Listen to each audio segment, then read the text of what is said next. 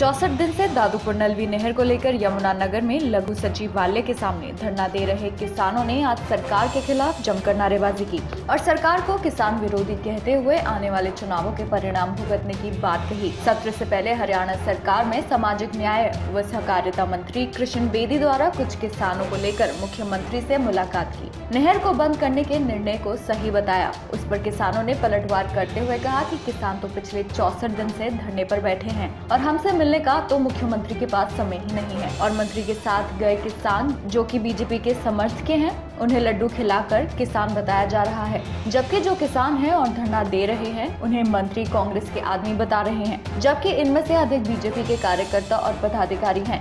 सरकार किसानों को उनका हक देना नहीं चाहती, इसलिए हमारा ये धरना आगे भी जारी रहेगा। ये किसान विरोधी सरकार है। जब जब भी ये सरकार है इसने किसानों के विरोध में ही काम किया है। किसानों को उजाड़ने काम किया है। बाकी रही लोग जो कल किसान बन के गए थे, वो किसान नहीं, वो बीजेपी के कार्यकर्ता थे। अगर ऐसे ही सरकार के फैसले होने लगे, आज वो सौ लोग ले गए बंद करवाने के लिए, कल हम हज़ार लोग ले जाएँगे तो क्या सरकार इस नहर को चला देगी? हज़ारों किसानों को हम भी इकट्ठा करके ले जा सकते हैं। सरकार के जो सिस्टम होता है, वो अपने तरीके से चलता है, ना कि लोग चलाते हैं। सरकार को चुना है, अगर ऐसे ही लोगों ने चलाना था, किसानों ने चलाना था, फिर सरकार का क्या मतलब था? रही बात, अगर किसान, कोई किसान के खिलाफ जाता है तो वो किसानों का जयचंद है, किसानों का विभीषण है, वो किसानों का गद्दार है, वो किसान किसी कीमत पे नहीं हो सकता। आगे रणनीति हमारी, हम तो आर पार की लड़ाई के मूड में बैठे हैं, हमारे धरने के दिन बढ़ रहे हैं, सरकार के घट रहे हैं, और आज चुनाव आने वाले हैं, रास्ता, गुजरात देख लेना भी इनका सफाया, गुजरात में, हिमाचल में सफाया, और हरियाणा में सफाया करेंगे, जहाँ सैंतीस साल पहले जहाँ शुरू हुई थी, पार्टी वहीं भेज देंगे इसको। किसानों से जिसने भी आज तक पंगा लिया है, एक भजन लाल जी भी इसका उदाहरण है, पहले जिसने किसानों से पंगा लिया है, वो मिट्टी में मिल गया दोबारा सत्ता नहीं नसीब हुई इसको। मुख्यमंत्री के पास किसानों से मिलने का तो समय ही नहीं है। कल से धरने में हरियाणा की खाप पंचायतों के मुख्य हमारे समर्थन में आ रहे हैं, जिसके बाद इस सोई हुई सरकार को जगाने के लिए बड़ा फैसला लिया जा सकता है, जिसके लिए खाप पंचायत जानी जाती है। फिर उसमें रेल ट्रैक जाम करना हो, चाहे रोड जाम करना हो, उसे भी पीछे नहीं हटेंगे। पर नहर को पुनः शुरू कराकर ही रहेंगे। धरना तो ऐसे ही जारी रहेगा जब तक सरकार हमारी मांगे नहीं मानती।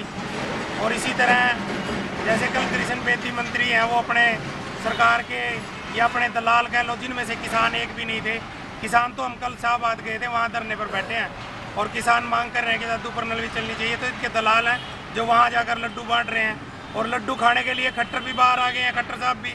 और जब यहाँ से धरने से किसानों को बुलाकर वहाँ बेइज्जत किया जाता है उनसे मिलते नहीं हैं। और इन दलालों से मिलने के लिए उन पर टाइम है, और लड्डू खाने का उन पर टाइम है। जो झूठे वहाँ जाकर किसान बनने का ढोंग करते हैं। हमारा धरना ऐसे ही जारी रहेगा, जब तक हमारी मांगे नहीं मानी जाती। और आगे भी हम सरकार का विरोध करेंगे। और मुझे अभी पक्का पता नहीं है, बारह तारीख को मेरे ख्याल से सीएम साहब का यहाँ प्रोग्राम है। हम उसका भी पूरा डट के विरोध करेंगे, अगर सीएम साहब यहाँ आते हैं। हम उनको मंडी में नहीं घुसने देंगे, दोनों गेटों पे हम पूरी तरह से उनका विरोध करेंगे।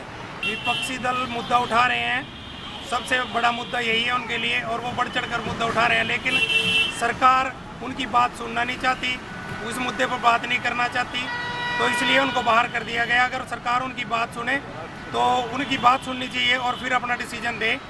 आगे तो यही है कि आगे हमारी यही प्लानिंग रहेगी कि धरना इसी तरह जारी रहेगा और हम निरंतर सरकार का विरोध करेंगे। इसी बीच कल हमारे बीच हरियाणा प्रदेश से कई खापों के प्रधान हमारे बीच पहुँच रहे हैं। वो धरने को समर्थन करेंगे और चार पाँच दिन तक लगातार यही हमारा समर्थन करेंगे। बिल्कुल बिल्कुल। ऐसे ही क्योंकि दो महीने से ऊपर हो गए हैं क्योंकि हमें कोई ना कोई आंदोलन अब करना पड़ेगा सरकार जाग नहीं रही है। इस तरह बैठने से लग नहीं रहा है कि ऐसे ही आंदोलन कोई करना पड़ेगा।